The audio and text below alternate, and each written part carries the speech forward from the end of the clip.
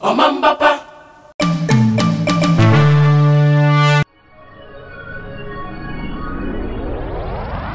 My, my expectations hasn't changed. I'm right on from shooting days on set. You know, we knew that this was something big. It was something for us, and it's about time that you know, as Ghanaians, we we support what is our own and also learn from it.